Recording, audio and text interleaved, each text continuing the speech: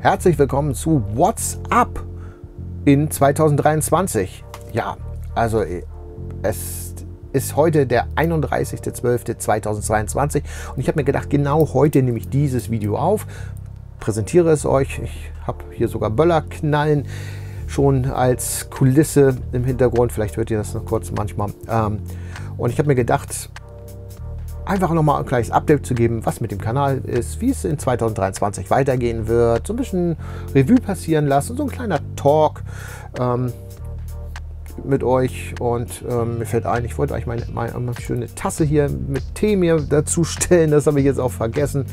Ähm, dazu, da kann ich eigentlich nur sagen, jetzt greife ich hier vorbei. Ich habe auch meinen Saft hier. Also, damit ich auch nicht so viel huste, der Hals so trocken ist. Ja, also wie gesagt, bei einer gemütlichen Kaffeetasse oder Teetasse wollte ich euch eigentlich ein bisschen mit euch da schnacken.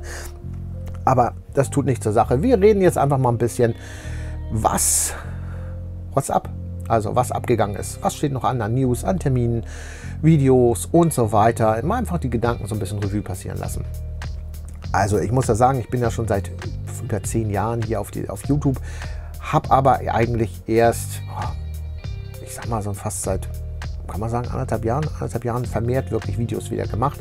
Und ich habe da mal geguckt, ich habe dieses Jahr für, eure, für euch auch auf diesem Kanal über 100 Videos produziert. Ähm, ich weiß gar nicht, ob schon alle äh, veröffentlicht sind, aber es sind weit über 90 von mir in diesem Jahr veröffentlicht worden. Also äh, das hat mich selbst erstaunt, als ich das dann überprüft habe, dass ich da so viele Videos hier eben halt, wie gesagt, hochgeladen habe, die auch sehr vielseitig sind. Ähm, es kam auch einiges dazu, weil ich mal gefragt wurde. Das kam, lag an den Pickups zum Beispiel. Die Pickup-Videos ähm, ergaben sich dann so, äh, hast du was Neues in der Sammlung? Und dann habe ich es einfach gezeigt. So sind eben halt Pickup-Videos entstanden und dann war ich auf Flohmärkten und habe ich gedacht, komm, zeige ich einfach, was ich vom Flohmarkt gemacht habe und ja, dann kommt eins zum anderen dazu. Also ich, wenn man bedenkt, dass ich ursprünglich eigentlich mehr Hintergrundvideos machen wollte zu Transformers, wo ich ein bisschen meine Transformers-Sammlung zeigen wollte, habe ich ja auch eine ganze Menge Videos, damit habe ich angefangen und ich wollte dann von meiner Battle Beast Sammlung ein bisschen mehr zeigen und auch ein bisschen in die Themen reingehen. Das will ich auch weiterhin noch. Ähm, dazu komme ich aber auch gleich. Also wie gesagt, ich habe sehr vielseitig die Sachen gemacht. Dann kam zwischendurch auch noch mal ein Interview, was ich gemacht habe oder so dazwischen ähm, Podcast und ähm, all das, was mir eigentlich Spaß gemacht hat. Weil darum geht es mir eigentlich. Diesem Kanal möchte ich natürlich auch euch was zeigen, aber irgendwie geht es mir darum, dass ich einfach irgendwo auch Schluss dran habe, einfach was zu zeigen oder was zu erzählen. Ne, wie jetzt auch laber ich auch wieder eine ganze Menge hier jetzt aus meinem Arbeitszimmer. Und äh, das ist die Rückwand, mein PC steht hier vorne. Und ähm, ja, also in dem Sinne, ihr seht ja auch einen Teil meiner Sammlung im Hintergrund, obwohl das ist hier so ein, ein halbes, unten ist ein halbes Fuling und oben ist so ein bisschen präsentativ, ein Poster aus der Kindheit, so ein paar Actionfiguren, aber so, so ein Auszug aus dem Ganzen. Ja, Auszug auf jeden Fall ähm, in dem momentan. Noch habe ich keine 500 Abos in diesem Jahr erreicht, leider. Ich hoffe, dass es so eins, äh, dass es 2023 dann der Fall sein wird. Das ist so ein bisschen mein Ziel. Ich hoffe, dass ihr auch ein bisschen teilt und liked. Denn wenn ich 500 Abos erreicht habe, möchte ich euch eine indirekte Roomtour zeigen. Ich habe jetzt keine wirklichen Sammlerräume. Ich habe ein paar Vitrinen. Ich habe äh, Regale, die entsprechend mit tollem Stuff eben halt ähm, bestückt sind. Und das zeige ich euch einfach dann in diesem Video. Ich habe schon ein bisschen was vorbereitet. Ähm, und sozusagen ein Nerd-Video, dann ein Special. Das kommt, wenn ich 500 Abos, beziehungsweise ich möchte ein bisschen über 500 Abos, denn meistens ist es so, hat man einmal 500 Abos erreicht, macht das Video, kommen wieder drei, vier weniger und man ist unter dem Ganzen. Das will ich natürlich nicht sein. Das heißt, ich möchte mindest, äh, äh mindestens fünf über sein. Ich sage ich mal ganz einfach. 505 Abos und dann kommt das Special. Ja, das ist so eine Sache, die ich mir für nächstes Jahr vorgenommen habe. Videos werden auf jeden Fall wieder kommen. Und ich bin auch ähm, dabei, dass ich wirklich weiterhin euch zwei Videos die Woche präsentieren möchte. Das hat sich ja irgendwann dieses Jahr gezeigt. Ich habe teilweise sogar drei schon die Woche gehabt. Aber im Endeffekt möchte ich zwei Videos die Woche bringen. Ähm, ich habe jetzt habe ich angefangen, immer sonntags ist ein Video. Ich versuche da meistens mehr so ein Pickup-Video oder was ich neu in der Sammlung habe zu haben, wenn es sich ergibt. Ich muss ja auch was wirklich haben zum Zeigen. Und äh, mittwochs will ich versuchen, so ein interessantes Video zu haben, denn da wird dann zum Beispiel ein Let's View. Die Let's Views werden leider ein bisschen weniger geklickt, gebe ich auch jetzt zu, aber mir ist es auch relativ egal, weil ich möchte Spaß selbst dabei haben. Und ich habe so viele interessante Sachen zu zeigen und die wenigen, äh, also momentan wenigen, ähm, die sich das auch anschauen, ähm, sind auch begeistert. Also gibt den Sachen wirklich eine Chance. Denn es sind von interessanten ähm, Toy-Magazinen über interessanten Hintergrundbüchern zu Filmen. Ähm, ja, ich habe Kinoprospekte und so weiter. Also in dem Sinne habe ich eine ganze Menge zu zeigen. Äh, immer. Und das macht auch Spaß irgendwie, diese Let's Views irgendwo ähm, ja, zu, eben halt mit euch zu betrachten. Also ich habe auch eine Menge Bücher und so weiter und äh, oder Artbooks, die ich mit euch angucken kann, die wirklich sehr interessant sind. Äh, ich habe auch noch einige in der Pipeline, die äh, schon fertig sind und ähm, ja, die dann auch bald kommen werden. Und überhaupt muss ich sagen, ich habe noch, ich könnte, ich bräuchte gar kein Video mehr drehen. Ich könnte, glaube ich, bis Mitte Februar euch irgendwas schicken, was ich schon fertig habe, denn ähm, ich habe sehr viel mal produzieren können und ähm, ich habe natürlich immer die Chance genutzt, wenn ich drehe. Und das ist auch so, was ich nochmal erwähnen möchte. Ich werde auch manchmal angesprochen, weil ich habe zum Beispiel noch ein Transformers-Video versprochen zu, Robo, zu den Robot Points. Das kommt noch, das ist auch in Arbeit. Äh, Komme ich leider nicht so schnell damit voran, wie ich es gerne möchte. Ähm, da muss auch einiges noch abgedreht werden. Und ähm, es ist auch kein Vergleich, wenn man das äh, schneidet, umsetzt, plant wie ein Pickup-Video. Pickup-Video oder wie auch dieses Video. Ich habe jetzt hier kaum Notizen, also es ist alles sehr frei geredet. Ähm, da habe ich mir eben halt gar nicht so diese Gedanken gemacht eben halt dazu. Ähm, ich habe zwar kurze Stichworte hier, aber das war es auch.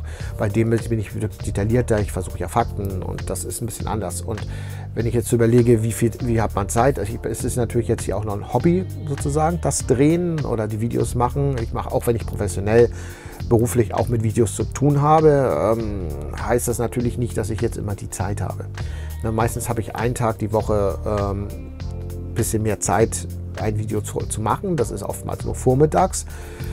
Also jetzt speziell zu drehen, schneiden kann ich auch abends oder nachts, mache ich auch nachts. Ähm, oder auch mal eine Tonaufnahme, da habe ich Mikrofone für, das ist nicht das Problem. Aber reines Drehen geht, mache ich oftmals nur am Vormittags. Und das habe ich nicht immer. Entweder habe ich die Wochenenden, da habe ich dann, bin ich die ähm, Flohmarkt-Pickups äh, gezeigt habe, die sind wirklich live aufgenommen, auf, auf dem Flohmarkt gewesen, dann äh, 14 Uhr meistens so zwischen 13 14 bis 15 Uhr gedreht und dann geschnitten, abends veröffentlicht.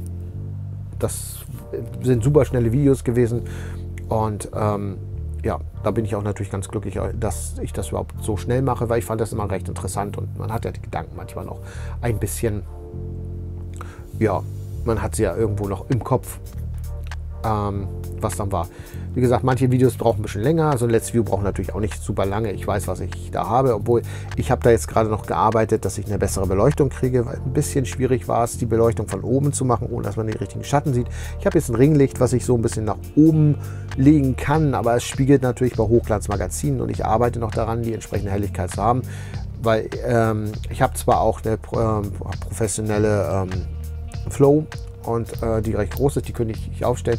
Hier steht jetzt zum Beispiel nur ein Ringlicht, was momentan jetzt nach gutem Bild aussieht. Äh, das ist so ein bisschen beleuchtet. Aber eben halt die Flow, das funktioniert nicht unbedingt von oben. Da ist der Raum, ähm, ich nehme in meiner Küche das auf, noch nicht ganz so. Ich verbessere mich immer mit den ganzen Sachen, auch mit Mikrofonen und so weiter oder Kameraequipment. Man äh, äh benutzt das, was man an dem Moment natürlich hat. So, in der Vergangenheit ist auch meine eine zweite Kamera kaputt gegangen, ist mir runtergefallen, ähm, konnte ich natürlich nicht mehr verwenden.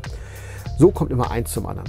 Aber wie gesagt, ich gebe mir immer Mühe, ich versuche nochmal ein bisschen auch mich zu verbessern. Ich versuche daran zu arbeiten, gewisse Sachen zu machen, aber ich will auch keinen ähm, Schnitt, Schnickschnack machen. Also ich könnte jetzt hier tausend Special Effects einblenden und sonst was. Und ähm, ich finde, das verwässert das dann ein bisschen. Wichtig ist, dass man vielleicht deutlich das zeigt und dafür seid auch ihr bitte äh, mitverantwortlich, dass ihr mir auch sagt, wenn irgendetwas nicht so gefällt. Und nicht nur einen Daumen runter und ähm, dann weiß ich nicht damit zu arbeiten. Es ist gut, wenn einer sagt, so Mensch, das und das, zeigt das nochmal genauer oder hier das Licht. Ja, das Licht bei den äh, Let's Views ist noch nicht perfekt. Dadurch ist es auch manchmal ein bisschen unscharf und meine HD-Kamera, ähm, ich habe eine ähm, Panasonic Kamera und ähm, die, die, ist sehr gut. aber inzwischen, die ist auch schon drei Jahre alt oder vier Jahre, vielleicht sogar schon fünf, auf jeden Fall vier Jahre. Und in der Zeit wird blitzschnell, jedes Handy wird besser. Mein Tablet äh, macht ein ganz gutes Bild, aber auch nicht so ein perfektes Bild. Wie gesagt, man arbeitet dran, man wird, äh, wird besser. Ansonsten, Videos kommen noch eine ganze Menge. Ich habe allein dieses Jahr noch ähm, vier Videos oder fünf Videos, ähm, die ich noch vorbereitet habe, die ich wahrscheinlich aber erst im nächsten Jahr schneide. Deswegen werden die noch sozusagen das kleine Datum am Ende von 22 betragen. Ähm, erst alles, was ich neu drehe in äh, 23, wird ähm, kommen. Was ich zum Beispiel nicht geschafft habe, war eben halt das Robot-Videos äh, komplett fertig, äh, Robot Points Video oder auch mein Battle Beast Arena 2. Ich habe jetzt hier einiges für meine Battle Beast Sammlung liegen und ich bin noch nicht weiter zugekommen, die Aufnahmen zu machen, weil da noch ein paar ähm, direktere Aufnahmen der Muckstücke, die man für die Sammlung hat, fehlen. Nur das einfache runterreden ist es ja nicht immer bei manchen Videos. Ja, ansonsten ähm, experimentiere ich ja viel. Manche Ideen kommen spontan. So kam jetzt auch spontan die Idee im Halt. Es gibt bisher nur ein Video dazu, äh, Collectors Treasure oder Collection Treasures, ähm, eine äh, Reihe zu machen, wo ich einfach mal ein Objekt hervorhebe, was ich gerade in der Sammlung habe, was ein wirklicher Schatz in der Sammlung ist. Das hatten jetzt meine kleine Captain Future Spielzeug oder meine Figuren-Trio von 1980 war das allererste Video, wo ich auch dann direkt die Aufnahmen gemacht habe, dazu geredet habe. Und ihr seht auch nur dieses ja, Schmuckstück. Da will ich auch noch weitere machen. Ich habe auch noch ein paar Games, die ich euch zeige. So ein paar richtige klassische Highlights, die auch... Ach, ihr, ihr, werdet es sehen. Ähm, auf jeden Fall habe ich da viel vor eben halt. Das, da werden auch noch in 2023 einige Videos von kommen. Ähm, dann habe ich ein neues Format. Das wollte ich eigentlich dieses Jahr zur Weihnachten noch rausbringen, aber es hat nicht alles so geklappt, wie ich wollte. Ähm, vor allen Dingen auch äh, krankheitsbedingt. Ähm, ich habe keine Stimme gehabt. Man, ich war erkältet, aber nicht so schlimm, aber es hat sich alles auf meine Stimme ausgewirkt. Ein bisschen seht, hört ihr das sogar noch in ein, zwei der Videos, die ich so gemacht habe. Ähm, aber ich hatte teilweise gar keine Stimme und das ist natürlich ätzend. Wie soll man ein Video machen, ähm, wo man redet, wenn keine Stimme da ist? Ja, dann im letzten Vierteljahr hatte ich hier im Hause äh, ähm, eine Baustelle. Also nicht, äh, ich, ich habe ja auch eine ganz normale Wohnung in einem kleinen Häuserblock und ja, eine ganze Wohnung, da ist jemand ausgezogen und die wurde zwangssaniert. Und das dauerte länger als geplant, weil sie die ganze Elektrik alles neu gemacht haben. Und das war sehr, sehr ätzend, äh, weil dauernd mit der Bohrmaschine äh, rumgerattert wurde. Und ob nun vormittags, nachmittags, sie konnten nichts aufnehmen. Ich konnte keinen Ton machen, nichts. Und ein bisschen hört ihr das in meinen Captain Future Videos, wo ich gerade meine Pickups zeige. Da habe ich echt gedacht, jetzt ist Ruhe da kam was rein. Ähm, mein Computer Pickup Video und auch wie ich meine Einkle Bilder einklebe. Gerade meine Sticker-Sammlung einklebe, da hört ihr das mehrfach und das war echt ätzend. Und da konnte ich natürlich nichts machen. Also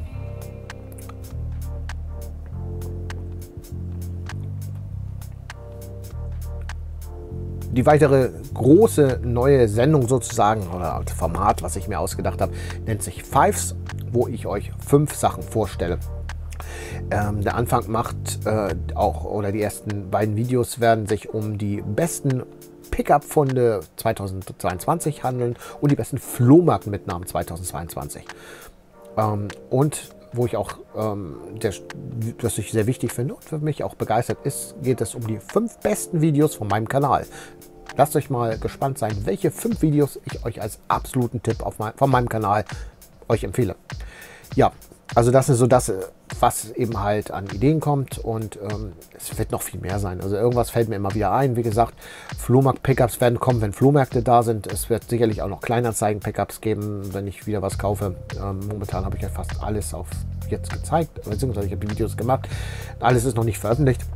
An äh, dem heutigen Tag, wo ich das Video jetzt, dieses Video euch präsentiere. Ähm, ja, und was soll ich dazu sagen? Es kommt noch eine Menge also Flohmarkt-Videos wieder kommen, aber wie gesagt, Ende März, Anfang April gibt es erst Flohmärkte erst äh, hier bei mir in der Gegend. Also vorher wird in der Richtung nichts kommen. Ja, was steht noch an? Ich werde sicherlich auch wieder auf Börsen sein. Also die CMC in diesem Jahr oder im Jahr 2023 werde ich definitiv besuchen. Ähm, werde ich euch wieder ein paar Filmaufnahmen zeigen, aber ich weiß noch nicht wie viel. Das ergibt sich auch immer mit dem Ganzen, weil ich selbst verkaufe und ja, wenn ich einen Stand habe, weiß man auch nicht immer, wie weit kommt man weg und Filmaufnahmen zu machen. Manchmal steht man dahinter und weil ständig irgendwas los ist. Aber beim Stand meine ich. Ähm, auf jeden Fall habe ich da noch keinen Termin, aber ich glaube im März, April, also zwischen März und Mai wird auf jeden Fall eine CMC sein. Ähm, da gibt es neu ist eben halt das noch nicht angegeben. Dann überlege ich mit meinem Bruder zusammen auf einer Berliner Börse mal was zu verkaufen, mal ein bisschen, einfach mal andere Luft zu schnuppern, spontan. Ähm, da wird, glaube ich, wenn ich es richtig sehe, im Mai was sein oder so. Mal sehen, ich lasse mich überraschen. Noch haben wir nichts gebucht. Wir, wir schauen mal einfach. Und dann werde ich euch auch rechtzeitig nochmal mitteilen. Denn diese WhatsApp-Videos, ich wollte sie eigentlich einmal im Monat machen, aber ich hatte die letzten Male kaum was zu erzählen. Also was soll ich dann ähm, ein WhatsApp-Video machen? Dieses ist ja mehr so ein Talk zum Ende des Jahres 2022 und die Zukunft. Da kann man ein bisschen mehr labern. Und wo ich aber auch sein werde, das ist gebucht, das ist, da ist organisiert bereits, ist am 26.08.2023 im August die Toyplosion. Diese mega Toy-Börse, die der liebe Pitendo mit seinen Freunden von der Motobros Facebook-Gruppe organisiert hat. Da werde ich auch sein. Ich habe zwei Tische. Ich werde verkaufen. Ich werde so, ich habe so viel Stuff, den ich mitnehmen werde von Retro-Toys, von Transformers auf jeden Fall. Noch habe ich welche. Ähm, zu allem möglichen Kram. Also ihr seid gespannt, was ich da mitbringe. Ich habe auch ein kleines Goodie da ähm, geplant, das ich dann euch ähm, sozusagen nur auf dieser Börse mitgeben werde, wenn ihr bei mir ja, kauft. Also ich freue mich dann auch darauf. Ähm, ja, und lasst uns quatschen, kennenlernen und was nicht alles. Also ich freue mich wahnsinnig auch auf meine anderen Kollegen, die ich aus, nur bisher über ähm, Foren kenne, weil sie so weit weg wohnen. Ähm, ja, freue ich mich auch. Natürlich aber auch Leute zu treffen, wie den Bürgermeister, ähm, den ich auch dieses Jahr schon besucht habe. Ähm, einfach um einfach die, die, coolen Freundschaften, die sich ergeben haben, um, ja, zu vertiefen. Also ich freue mich auf das auf deswegen besonders. Und die findet in Castro Brauxel statt. Das ist bei, ähm, ähm, bei Dortmund. Genau. Dortmund. Ich muss überlegen, ich, ich bin, aus, bin aus Hamburg. Ich fahre nach Castro Brauxel und dann muss ich gucken, überlegen. Ich bin, ich hoffe, Dortmund war in der Nähe. Ich war da dieses Jahr einmal ganz kurz in der Nähe, ähm, hatte da äh, beruflich zu tun und muss sagen, es ist eine schöne Gegend. Ich freue mich auch drauf. Wie gesagt, Freunde von mir oder, sind da, sind lieber Flo. Ich freue mich, dass ich dich dann da nochmal treffe. Ähm, ja, genau. Das ist auf jeden Fall etwas, was ein Termin ansteht die geplant sind. Ansonsten weiß ich nicht genau, was noch sein wird. Ich habe jetzt nicht wirklich irgendwelche Sammelziele, meine großen Ziele. Also ich freue mich Überraschung, denn wenn man bedenkt, was ich so in, in, meiner Sammlung neu habe, wie jetzt von Captain Future und einige Computerspiele, äh, die ich meine, aus meiner Kindheit kannte und ich immer haben wollte und sich durch Zufall, durch echt super Gelegenheiten ergeben haben, dass ich sagen muss, ja, das kam dann einfach. Also ich hätte damit nicht gerechnet. Ansonsten wird sicherlich eine Menge noch kommen. Lasst, seid gespannt. Ähm, ja, das wird auf jeden Fall sehr, sehr viel Spaß werden, denke ich. Und wie gesagt, ich habe eine ganze Menge Ideen. Ähm, ach so, ein neues Format, was ich auch noch habe, ähm, ein Let's Talk. Also nicht nur Let's View, sondern Let's Talk, ähm, wo ich bisschen vor der Kamera auch dann äh, versuche, dann mal über ein Thema zu sprechen. Beziehungsweise ich zeige jetzt, habe jetzt ein Manga, das ich präsentiere, so ein bisschen und einfach mal meine Gedanken dazu äußere. Weiter werde ich auch weiter schon einige Podcasts machen. Das habe ich auch einige noch in Vorbereitung. Ähm, eigentlich muss ich nur einsprechen. Ich habe da Notizen liegen, ähm, die ja ich äh, ja, dann nur runterreden, naja, kann man natürlich sagen, aber Podcast eben halt. Dann habe ich auch noch geplant, also dass ich einige ähm, ja, ja, Podcasts sozusagen auch mache, aber Talks eben halt mit Freunden, äh, mit dem lieben Bürgermeister habe ich einen Talk geplant, eigentlich schon seit einem halben Jahr und auch mit dem Manuel von Sammlerschutzhöhen, wo wir über gewisse Themen einfach mal quatschen wollen. Das wird aber auch so ein, so ein hoffe, dass es klappt, dann so ein Videotalk sein, dass man uns beide sieht und wir über quatschen. Und äh, ich werde doch sicherlich auch noch weitere Freunde dann da einladen, mit mir über gewisse Themen zu quatschen oder irgendwie ja, also seid gespannt. Es gibt sehr viel, was da Neues kommen wird. Ja, was habe ich noch so vor? Ähm, ich habe ähm, Hörspiele ja gemacht. Wenn ihr meinen Kanal genau guckt, es sind auch einige Hörspiele da. Ich hatte in den äh, vergangenen Jahren auch noch mal äh, zwei in Arbeit, die sehr weit waren. Und dann hat ein Festplattencrash wirklich alles zerstört. Ich bin bei den Hörspielen, muss ich auch zugeben, sehr, sehr langsam vorangekommen. Auch beruflich, weil es kostet auch sehr viel Zeit und sehr viel Ruhe, sich damit zu beschäftigen. Leider ist es dann so gewesen, dass der Festplattencrash mir zum Glück nicht die Audiodaten zerstört hat, aber die Vorschnitte, die ganzen äh, Archive meiner Soundeffekte, ähm, Musik und was nicht alles, also auch die ganzen Vorarbeiten, die ich hatte und auch sehr viel wichtiger beruflicher Kram ist leider verloren gegangen. Ähm, das musste ich natürlich auch wiederholen. Das hat mich ein halbes Jahr gekostet, auch viele Sachen wieder zu bekommen. Und ich musste auch bei den Videos, die ich jetzt hier habe, sind einige Videos, ähm, da hatte ich immer, hatte ich schon viel vorbereitet und so weiter. Ähm, was ich leider dann ja nicht mehr auf diesem aufbauen konnte. Also deswegen die Mini Battle Beast Videos sind dadurch nur ausgesetzt eigentlich, dass ich die wieder neu anfangen muss. Ich hatte eine Art Vorlage und ich habe einiges noch vorbereitet gehabt. Das war alles weg. So, und da muss ich mich auch noch mal wieder drum kümmern, denn die werden auch noch mal wieder kommen. Ich habe so viele Ideen und so viel, was ich machen kann und teilweise wegen Beruf auch äh, so wenig Zeit.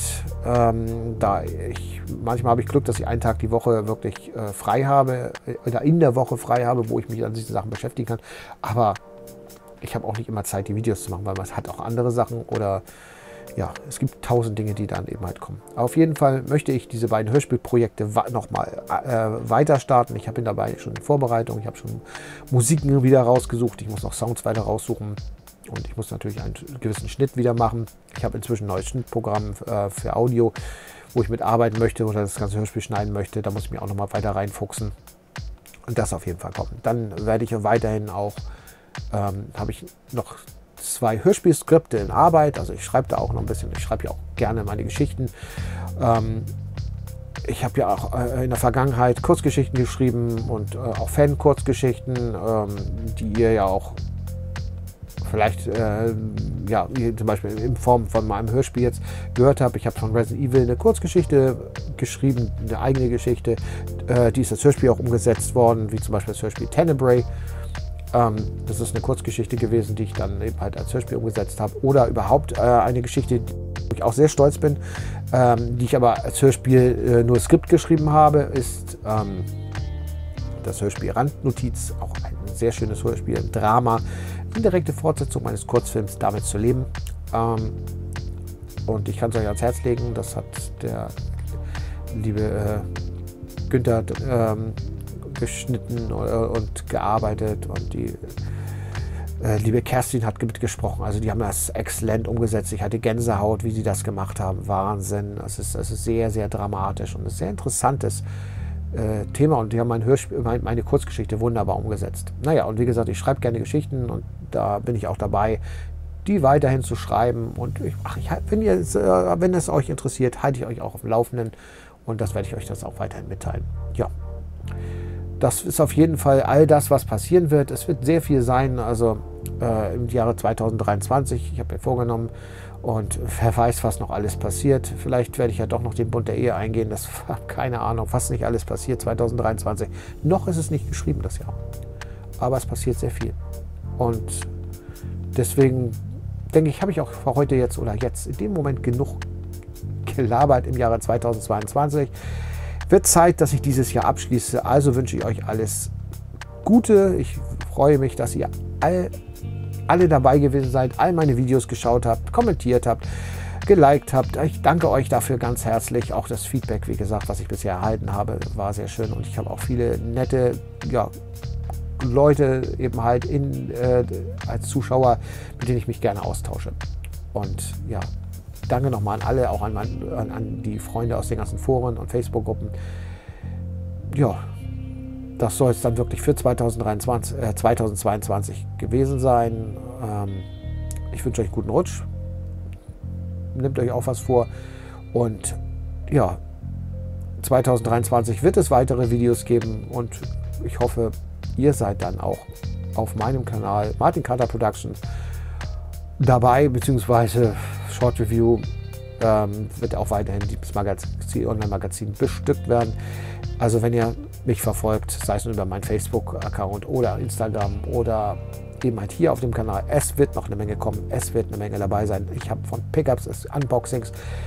Ach ja, ich fange schon an, das Ende zu machen. Es gibt ja doch noch zwei, drei News, die mir jetzt gerade spontan einfallen. Ähm, ich habe einen Twitch-Kanal, Short Review. Da könnt ihr gerne auch mal irgendwann gucken. Noch gibt es da nichts, aber das werde ich rechtzeitig ankündigen, falls ich da mal ein, äh, ein Game streame.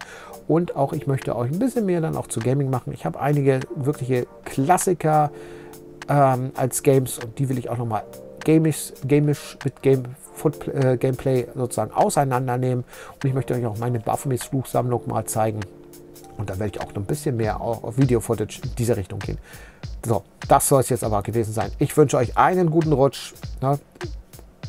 Und ja, bis zum nächsten Jahr, bis zum Jahre 2023, was in wenigen Stunden sein wird.